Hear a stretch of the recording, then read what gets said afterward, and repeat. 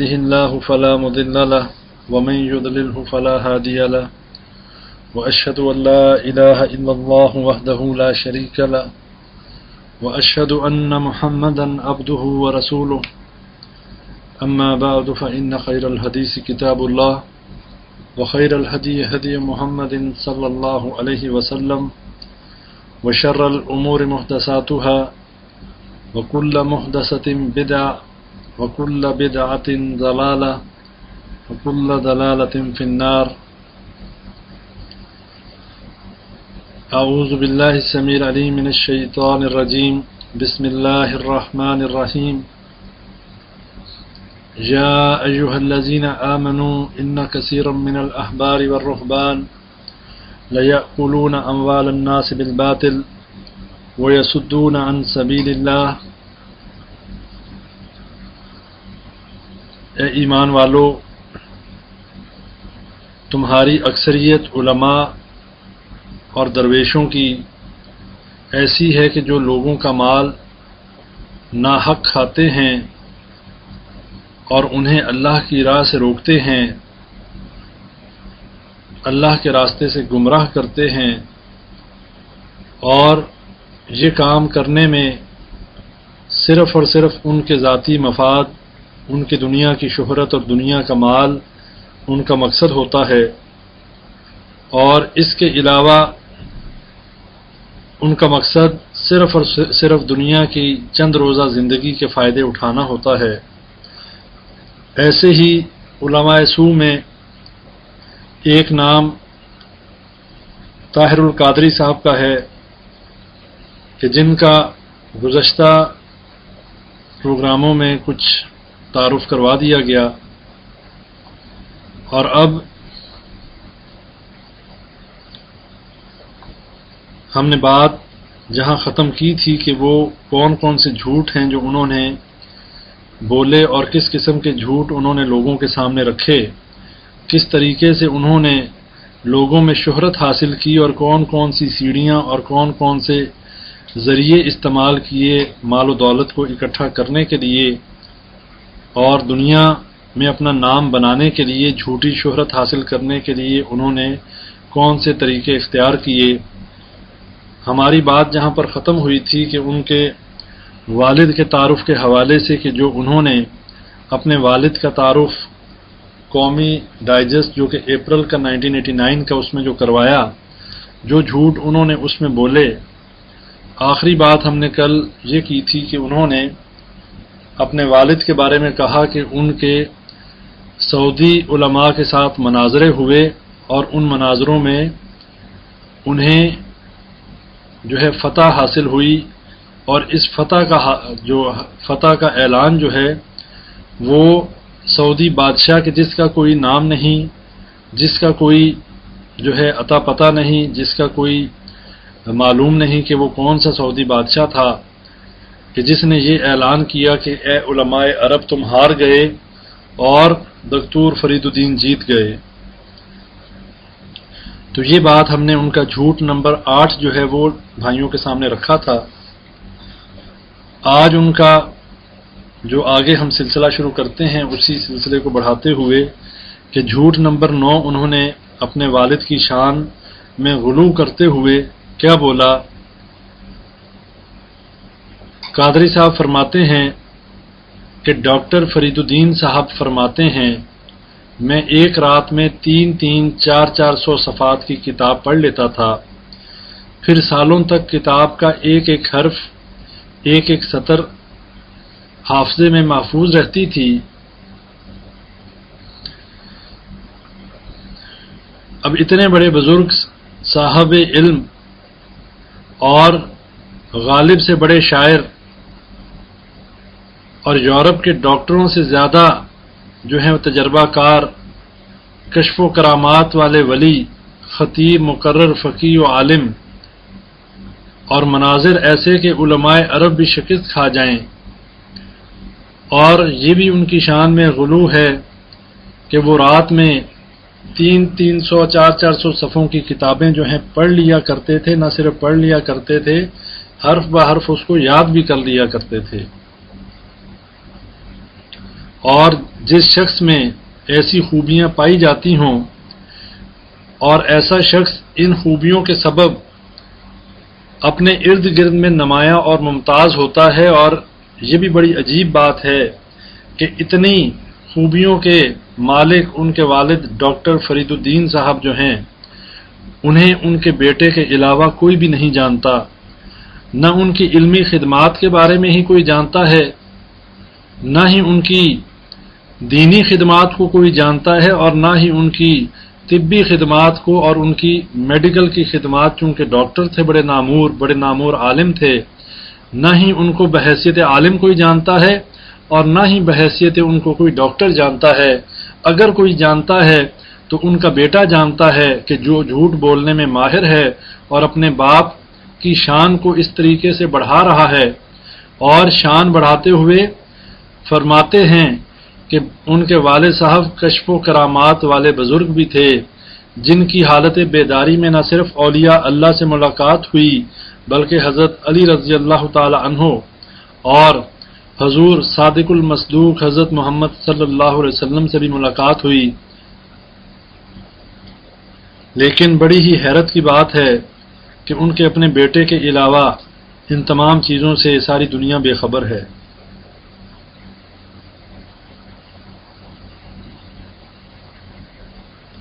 इसी तरह अपने वालिद के बारे में कादरी साहब कहते हैं कि वो उनको शेर व शायरी से भी शगफ था और उनके बारे में उन्होंने कहा कि उनके शायरी का एक दीवान जिसका नाम दीवान फरीदा का ना, के नाम से था वो भी उन्होंने क्लेम किया कि उनका एक दीवान भी था। लेकिन जब उनसे पूछा गया कि वो कहाँ है तो उन्होंने कह दिया कि वो गुम हो गया। उसी तरह जैसे उन्होंने सऊदी हुकूमत के बारे में जो कहा कि बादशाह ने स्पेशल कार्ड इनायत किया था, वो भी गुम हो गया। ताकि इनकी मौजूदगी में उनके सच और झूठ का पता न चल जाए। इस हवाले से उन्होंने ये तमाम चीज़ें जो हैं बताई कि ये गुम हो गई। अब आगे चलते हैं। कि ऐसी ज़रूरत क्या पेश आई कि कादरी साहब को क्या ऐसी ज़रूरत और मजबूरी थी कि उन्होंने अपने वालिद की शान के बारे में इतना गुलू क्यों किया? ये बात पहले आप सबके सामने रखी जा चुकी है कि ताहिरुल कादरी साहब का माजी और उनका बचपन जो है वो गुर्बत में गुजरा और उनका वालिद एक डिस्पेंसर था, लेकिन जब मियाँ शरीफ की अनायात और मरीदों की, मुरीदों की जेबों के सहारे अरबों रुपयों को इकट्ठा कर लिया, काफ़ी दौलत इकट्ठी कर ली। तो उसके बाद ताहिरुल कादरी साहब को इस बात पर शर्म महसूस हुई कि अपने वालिद का तारुफ एक मामूली डिस्पेंसर के तौर पर करवाएँ। हती कि कादरी साहब अपने हकीकी नाम से भी इनकार कर बैठे और अपना असल नाम मोहम्मद इसहाक जो है उससे भी नफरत करते रहे और कादरी साहब को लफ्ज मौलवी से भी नफरत थी।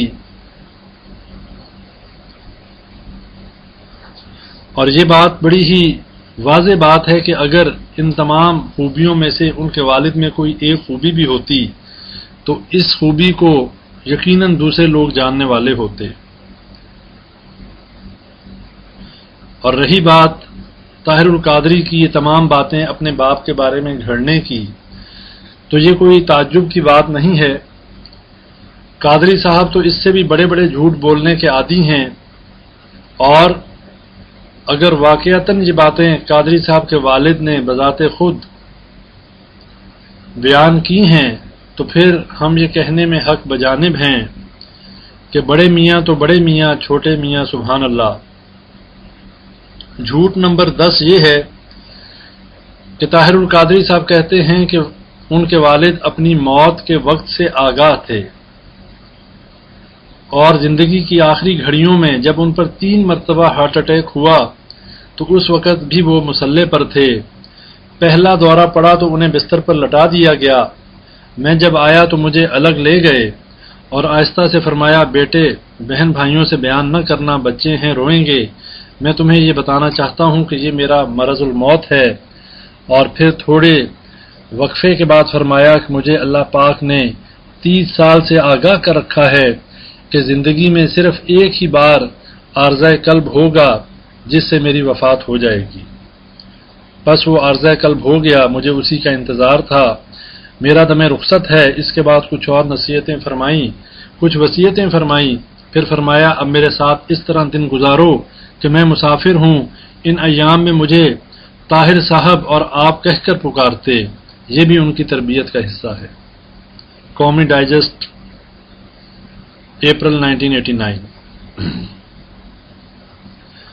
और कादरी साहब ने अपने अब्बा हजूर की जो करामात खुद बताई हैं, उनसे कादरी साहब और उनके अब्बा हजूर का मकाम आसानी से तयन किया जा सकता है। झूठ नंबर ग्यारह ये बोला कि अपने वालिद के बारे में उन्हें ये शक हो गया कि वो ज़िंदा हैं या मुर्दा हैं। ताहिरुल कादरी लिखते हैं कि अब्बा जी किबला रहमतुल्लाह अलैह के विसाल के दस रोज बाद ख्वाब में मुझे उनकी जियारत नसीब हुई तो मैंने उनसे तीन सवाल किए। वो तीन सवाल ये थे। पहला सवाल ये कि जनाजे के बाद जब आपके चेहरे मुबारक की जियारत की तो आप मुस्कुरा रहे थे। आपकी आँखें उस वक़्त खुल गई थी और चेहरे पर इतनी भरपूर मुस्कुराहट थी कि हमें खुद वाकता गुमान हो गया कि कहीं हमने गलती तो नहीं कर दी। यानी कि उन्हें अपनी गलती का गुमान होने लगा कि कहीं हमने ज़िंदा ही का जनाजा तो नहीं पढ़ना शुरू कर दिया। और शायद तकलीफ़ की शिद्दत से डॉक्टरों को मुगालता हो गया हो कि आप वफात पा गए हैं और हम गुसल देकर आपको यहाँ ले आए हैं। अब क्या करें? हम लोग मुबारक देने लगे एक दूसरे को और सवाल किया कि ये जो यक्का यक मुस्कुराहट हो गई, इसका सबब क्या था? जनाजे से पहले विसाल के बाद दरमियानी अरसे में चेहरे की जो कैफियत थी, वो मुस्कुराहट की नहीं थी, ना परेशानी की थी, बल्कि पुरसकून नींद की कैफियत थी। और अगर पहले बयान पर गौर करें तो भरपूर मुस्कुराहट और लब तक जो है वाह हो गए और आँखें खुली थीं और हम नमाज़ जनाजा पढ़ाने से पहले उनके इरशाद के मुताबिक, जैसा कि उन्होंने मुझे इरशाद फरमाया था, एक मिनट पहले तक पूरी दुनिया उनके चेहरे की जियारत करती रही थी। चेहरा मुबारक खुला हुआ था। जब नमाज़ जनाजा के लिए सफ़े बन गईं, हमने उनके चेहरे मुबारक पर कपड़ा डाल दिया। अब नमाज़ जनाजा में कितना वक्त लग जाता है? दो या तीन मिनट दुआ हुई। और फिर उनके चेहरे से कपड़ा हटा दिया गया। इस पर जो दो मिनट लगे, उसके बाद कैफियत ही बदल गई थी। वो मुस्कुरा रहे थे और बेपना मुस्कुरा रहे थे। अब ये ताहिरुल कादरी साहब के वालिद हैं। ताहिरुल कादरी साहब के वालिद तो मरने के बाद भी मुस्कुरा सकते हैं, कोई बड़ी बात नहीं। अगर वो अपनी ज़िंदगी में नबी सल्लल्लाहु अलैहि वसल्लम की जियारत कर सकते हैं, अपनी जो है ज़िंदगी में वो हज़रत अली की जियारत कर सकते हैं और उनका बेटा ताहिरुल कादरी जो है, वो भी हर रोज जो है किसी न किसी बुज़ुर्ग और किसी न किसी सहाबी और नबी सल्लल्लाहु अलैहि वसल्लम के साथ भी मुलाकात तो बड़ी आम सी बात है। अब अल्लाह कुरान में कहता है कि किसी जी रूह को ये नहीं पता कि वो कल क्या करेगा, उसे मौत कब आएगी। वमा तदरी नफसुम माजा तकसिब गदन, वमा तदरी नफसुम बी अई अर्दिन तमूत। इन अल्लाह अलीम खबीर। अल्लाह तो कहता है कि किसी को मालूम नहीं, किसी जी रूह को मालूम नहीं कि कल क्या करेगा। वमा तदरी नफसुम बी अई अर्दिन तमूत। और ना ही कोई ये जानता है कि उसे किस जगह पर मौत आएगी। और यहाँ पर कादरी साहब कहते हैं कि उनके वालिद को तीस साल पहले से मालूम था। और अल्लाह ने तीस साल पहले ही उनको बता दिया। और भाइयों, अकीदे का मवाजना करते जाएँ, जो मैंने शुरू में तारुफ आपके सामने रखा, बरेलवी मकतब फ़िक्र से ताल्लुक़ है, कादरी साहब के वालिद का, कवालियों और मज़ारों की पूजा पाठ में बड़े एक्टिव थे, और बेटे को भी उन्हीं मजलिसों में लेके जाते कवालियों में और मज़ारों की जियारत के लिए लेकर जाते। ऐसे मुशरकाना काम करने के बाद दावा यह है कि अल्लाह जो है तीस साल पहले ही उन्हें यह बता देता है कि कब उनको मौत आनी है।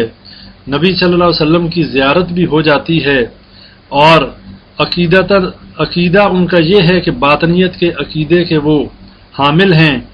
और उसके बाद झूठ के ऊपर झूठ, और जब इंसान एक झूठ बोलता है, उस झूठ को साबित करने के लिए उसे सौ झूठ बोलने पड़ते हैं।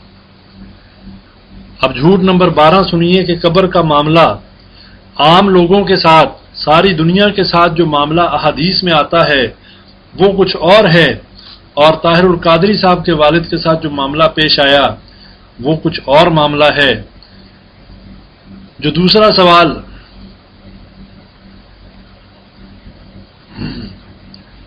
कादरी साहब ने अपने वालिद से किया, पहला सवाल तो ये किया कि आप मुस्कुरा क्यों रहे थे?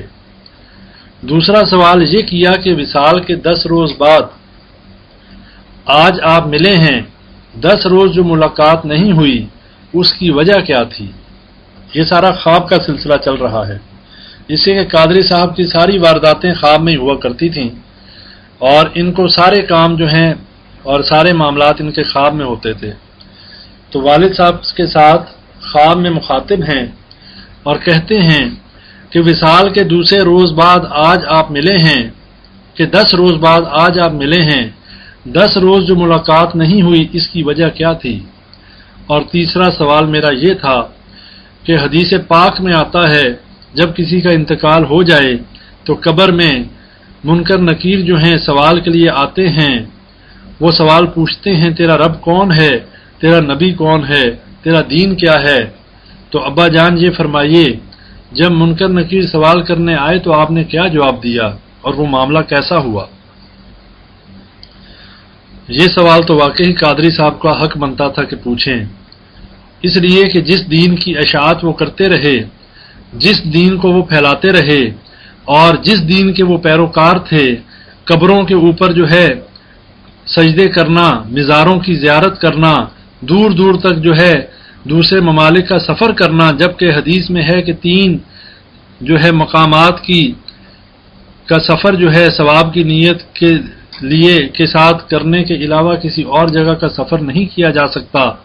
लेकिन उनके वालिद तो बहुत दूर तक बगदाद में और जो है हज़रत अली के मज़ार में और अपने पीर मुर्शद के मज़ारों पर ज़्यारत के लिए जाते रहे, कवालियाँ करवाते रहे, सुनते रहे, अपनी डिस्पेंसरी से कमाई हुई जो कमाई थी उनकी, उसको भी जो है वो इन मामलात पर खर्च करते रहे। तो यकीनी बात है, बेटे को पूछना चाहिए वालिद से कि आपके साथ क्या मामला हुआ। अब सुनिए। झूठ नंबर तेरह जो बोला थर्टीन कहते हैं पर्दे उठा दिए गए। पहले सवाल का जवाब देते हुए उन्होंने फरमाया, यानी कि दकतूर फरीदुल्ला ने फरमाया, फरीदुद्दीन ने जो कि ताहिरुल कादरी साहब के वालिद, फरमाया, बेटे, आप लोग जनाजा पढ़कर फारिग हुए। आपने कपड़ा मेरे चेहरे से हटाया और मुस्कुराता हुआ पाया। उस वक़्त पर्दे उठा दिए गए थे और वो आलम आखरत और आलम उकबा के मकामात और बागात, जन्नत और ऐश की आला सैरगाहें अल्लाह पाक ने मुझे दिखाना शुरू की और जब मैं उनको देखने लगा तो इन खसूसी इनामात को देख देख कर हंस रहा था। और मुस्कुरा रहा था। तो आप मेरी मुस्कुराहट का ताल्लुक इधर समझ रहे थे। मेरी मुस्कुराहट का सबब तो ये था कि इस वक्त आलम बाला की सैर शुरू हो गई थी। लाहौला वला कुत बिल्ला ये सच कहा गया कि झूठ के पाँव नहीं होते। और जिनका ताल्लुक किताबुल्लाह और सुन्नत रसूलुल्लाह के साथ हो, इस तरह की लगवियात वो नहीं बोला करते। इस तरह की जो है वो झूठ और किजब बयानी से वो जो है काम नहीं लेते। लेकिन ताहिरुल कादरी साहब का किताबुल्लाह और सुन्नत रसूलुल्लाह से कोई ताल्लुक नहीं। कोई शख्स इनसे ये नहीं पूछता कि आप इतने बड़े शेखुल इस्लाम बने फिरते हैं, आप बड़े डॉक्टर बने फिरते हैं और आपकी असलियत ये है कि आप एक कज्जाब शख्स हैं, आप एक झूठे आदमी हैं कि एक आम मुसलमान जो है, एक मोमिन जो है वो झूठा नहीं हो सकता। नबी सल्लल्लाहु अलैहि वसल्लम की हदीस के मुताबिक वो बुजदिल हो सकता है, वो बखील हो सकता है, लेकिन झूठा नहीं हो सकता। और ये आज का शेखुल इस्लाम, जिसको लोगों के यहाँ सिर्फ़ शोहरत चाहिए थी, लोगों का माल चाहिए था, ये शख्स जो है, परले दर्जे का झूठा और कज्जाब है। ये कैसा अनोखा इंसान है उला कल अनाम, बल हम अजल। इसकी मिसाल बिल्कुल ऐसी है कि ये चौपायों की मानद हैं, बल्कि उनसे भी गए गुजरे हैं। जो लोगों में शिरक को फैलाए, जो इस उम्मत मुस्लिमा में शिरक और बिदात को फैलाने का अलंबरदार हो, और उसके बाद लोगों में झूठ इस तरीके से फैलाए और इतनी खूबसूरती से झूठ बोले कि जिससे वो लोगों की जेबों पर डाका डाल सके।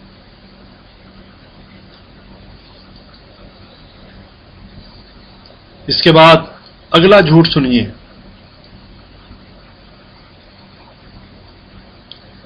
झूठ नंबर चौदह।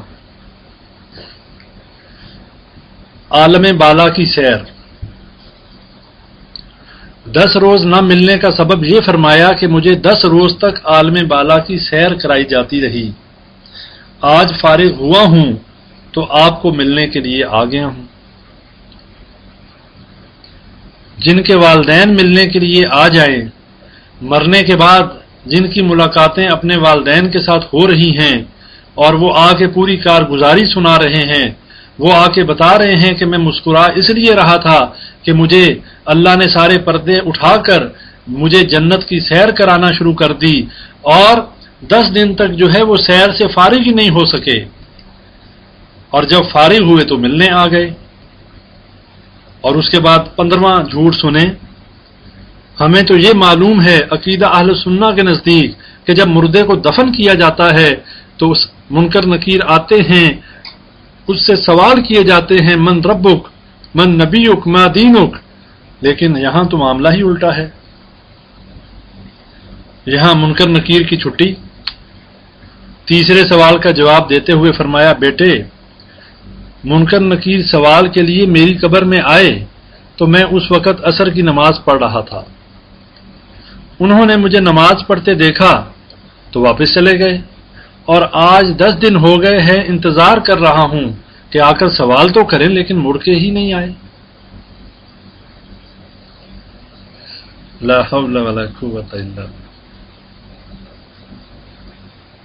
भाइयों, सुनते जाएँ और शर्माते जाएँ।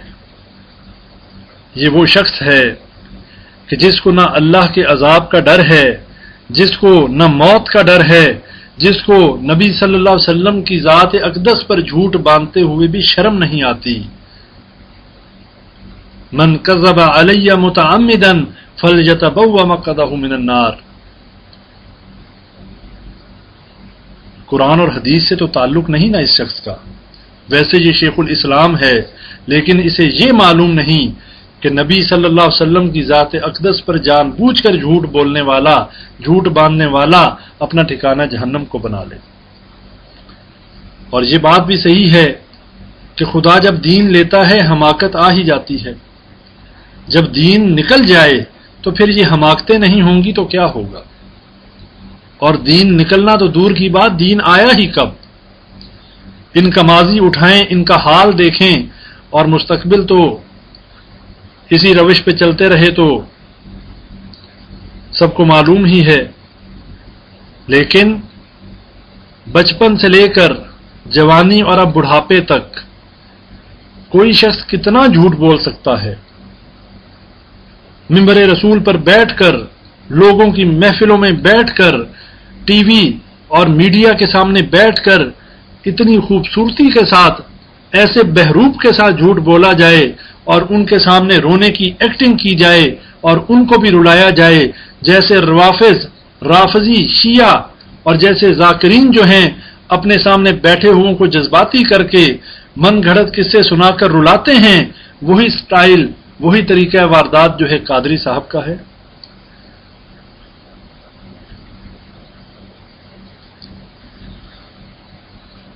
तो मुनकर नकीर जो हैं, नमाज़ पढ़ता हुआ देखकर चले गए और फिर दस दिन हो गए वापस नहीं आए।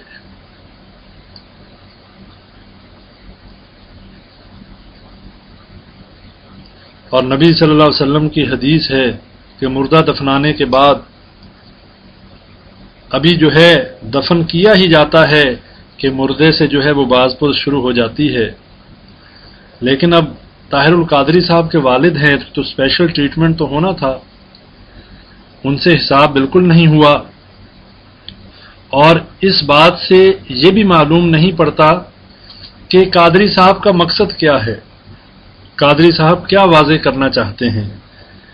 या तो ये बताना चाहते हैं कि वो बहुत पहुँची हुई शख्सियत थी कि जिनके लिए अल्लाह ने अपनी शरीयत और अपने दीन को जो है बदल दिया, अपने कानून को बदल दिया और वो पहुँची हुई शख्सियत का तारुफ जो शुरू में मैंने करवाया कि कवालियाँ सुनने और कवालियाँ करवाने और मज़ारों पर जाके सलाम करने और मराकबे में बैठना उनका काम था। ये है उनकी वालिद की जो आ, उनके वालिद का जो सिलसिला दीन का।